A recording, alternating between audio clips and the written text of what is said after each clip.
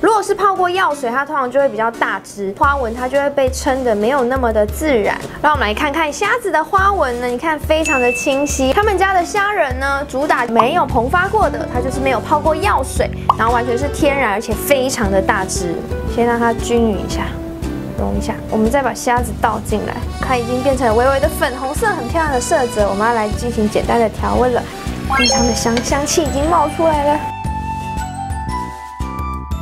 上菜了，嗯，肉质非常的扎实哎，而且很新鲜的味道，每一只都像有运动过的虾子一样，搭配我们的那个酱料实在太好吃了。